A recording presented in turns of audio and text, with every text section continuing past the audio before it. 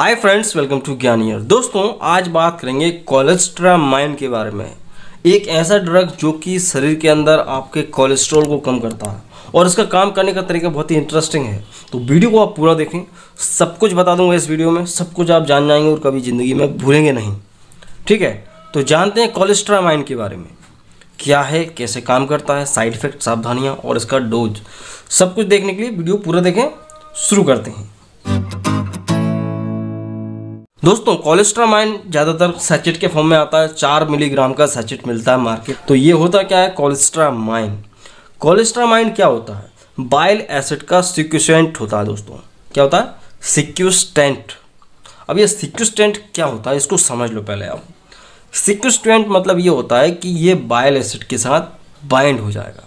उससे जुड़ जाएगा, उससे मिल जाएगा। ठीक है? तो ये बाइल एसिड का सिक्यूस्टेंट है। खाने को डाइजेस्ट करने के लिए बाइल एसिड बनता है।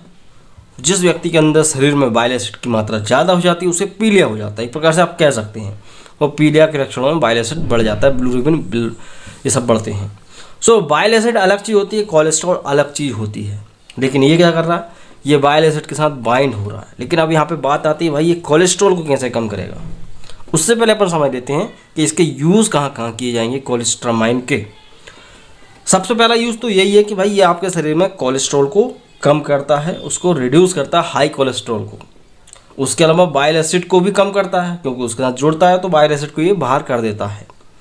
तो बॉडी में से बाइल एसिड भी कम होता है। तीसरा है कि भाई जब ये कोलेस्ट्रॉल को कम करेगा तो आपके लिए हार्ट अटैक कार्डियोवास्कुलर डिज़ीज़ इनसे आपको बचाता है। तो ये इसके तीन यूज़ होते हैं।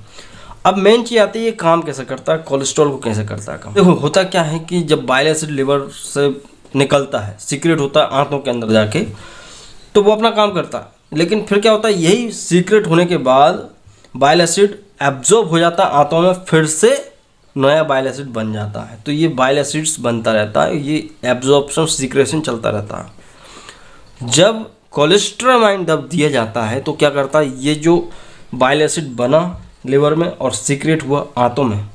और फिर क्या होता है, उसको रीअब्जॉर्ब नहीं होने देता है। ये कोलेस्ट्रामाइन इस बाइल एसिड को जो है एब्जॉर्ब नहीं होने देता है और बाहर निकाल देता है फीकल माध्यम से ये बाहर निकलता है। आदमी के मल के द्वारा ये बाहर निकल जाता है, कौन? बाइल एसिड अब इस दौरान क्या होता है कि जो लेवर है, अब ये क्या करेगा कोलेस्ट्रॉल को मेटाबोलाइट कर देगा।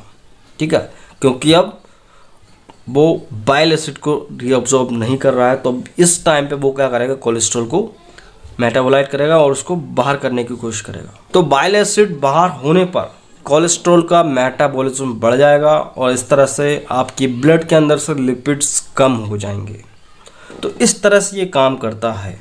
और होता क्या दोस्तों लिवर को अगर अपन ये बाइल को कंट्रोल नहीं करेंगे बाइल को बाइंड नहीं करेंगे, बाहर नहीं करेंगे तो क्या होगा लिवर ज़्यादा से ज़्यादा बाइल बनाता रहता है, जो कि सही नहीं होता है, ठीक है? और कोलेस्ट्रॉल जो कहता हूँ, आपकी बॉडी में एब्जॉर्ब होता रहेगा, बढ़ता रहेगा, ठीक है? तो ये है दोस्तों, और कहते हैं कि आपका लाइफ स्टाइल आपकी डाइट अगर अच्छी है तो आपके लिए ये जो ड्रग है कोलेस्ट्रामाइन ये बहुत अच्छे से वर्क करेगा। ऐसा नहीं कि आप ड्रग कोलेस्ट्रामाइन ले लिए और आप कुछ भी खा पी रहे हो, आलसी की तरह पड़े हुए हो तो ये काम अच्छे से नहीं करेगा। तो आपको एक प्रॉपर अच्छी डाइट लेना है। कोलेस्ट्रॉल फ्री कोलेस्ट्रॉल ज़्यादा नहीं लेना है और आप ये टैबलेट लेंगे तो आपको जो है अच्छा वर्क करने को मिलेगा इसमें। आप समझ लेते हैं दोस्तों इसकी कुछ कॉन्ट्राइंडिकेशंस और कुछ प्रिकॉशंस कि भाई सावधानी क्या रखना और कब तो बिल्कुल भी नहीं देना है। देखो, अगर आपको हाइपर ट्राइग्लिसमिया की प्रॉब्लम है मतलब कि आपके शरीर में बहुत ज़्यादा ट्राइग्लिसराइड्स की मात्रा है तब आप, इसको इस्तेमाल ना करें। ठीक है टॉक्सिसिटी है तो यूज़ ना करें। हाइपर सेंसिटिविटी है तो भी यूज़ नहीं करना है। ठीक है शराब के साथ तो बिल्कुल यूज़ नहीं करना है। प्रेगनेंसी की बात की जाए तो प्रेगनेंसी में डॉक्टर की सलाह से दे सकते हैं लेकिन लैक्टेशन मदर्स जो बच्चे को दूध पिलाती महिला वो ले सकते हैं। ठीक और ड्राइविंग भी कर सकते हैं कोई दिक्कत नहीं है। लिवर किडनी की समस्या तो दिया जा सकता है। लिवर की अगर खास समस्या है तो थोड़ा सा सावधानीपूर्वक देना है। अब समझते हैं इसके कुछ कोलेस्ट्रामाइन के कुछ साइड इफ़ेक्ट्स देखो साइड इफ़ेक्ट तो होते हैं, हर ड्रग के होते हैं। तो ब्लॉटिंग हो सकती है कॉन्स्टिपेशन हो सकता है और इंडाइजेशन नोजिया हो सकती है। मतलब कि आदमी का पेट फूलेगा, कब्ज रहेगी, चक्कर आएँगे, उल्टी वगैरह हो सकती हैं। तो ये इसके कॉमन से साइड इफ़ेक्ट्स हो सकते हैं। अगर आपको इसे ज़्यादा दिख रहा है तो आप डॉक्टर को बताएँ और ये ड्रग बंद करवाएँ। अब बात करेंगे कि इसका डोज क्या रहेगा। दूध या पानी में इसको मिलाना है सैचेट को मिक्स करना है और आप इसको इमीजिएट ड्रिंक कर लें पी लें फटाफट ठीक है ना? आधा कप आधा गिलास पानी में इसका एक सैचेट को मिला के फटाक से आपको पीना है और एक दिन में एक ही बार काफ़ी हो जाता है और फिक्स टाइम पर लें तो ज़्यादा बेहतर है ठीक? तो छोटे बच्चों को नहीं दिया जाता है छोटे बच्चों के पहुँच से इसको दूर रखें। सो so, ये होता है दोस्तों क्या? कोलेस्ट्रामाइन जो कि एक कोलेस्ट्रॉल को कम करने की ड्रग है, जिसका काम करने का तरीका थोड़ा सा डिफरेंट है।